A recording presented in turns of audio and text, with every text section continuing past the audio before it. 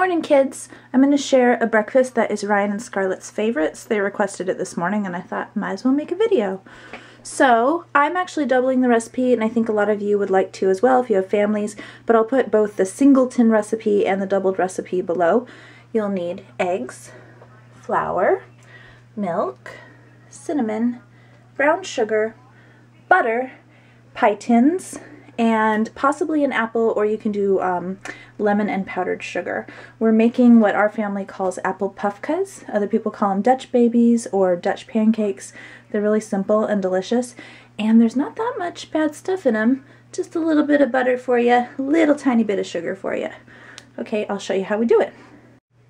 Preheat your oven to 400 degrees. Then gently beat the eggs, just break them up a little bit. You don't need to worry too much about getting them incorporated because we're going to add the other ingredients and we don't want to overbeat them. Beat in the flour.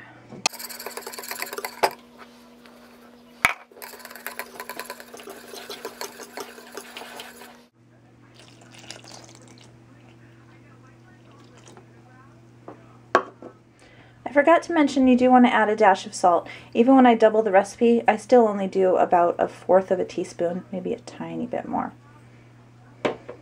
Once you've added in the milk, flour, and salt, just mix it together until it's well incorporated. Don't worry about it being lumpy. You don't want to overbeat the mixture.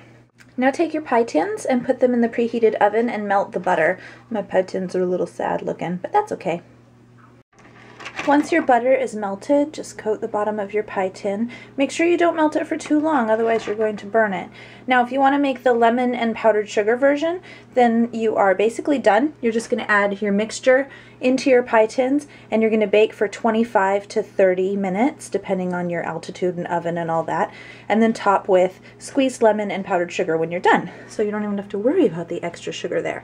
But I'm going to do the apple version, so I'm going to lay a little ring of apples on the bottom and then coat with cinnamon and the brown sugar. I used my one rinky-dink apple to coat the bottom too. So I've got my cinnamon and my brown sugar on top of the melted butter in my pie tins. If I was just doing the lemon version, it would be just the melted butter, and now I'm going to evenly disperse the mixture on top of the two.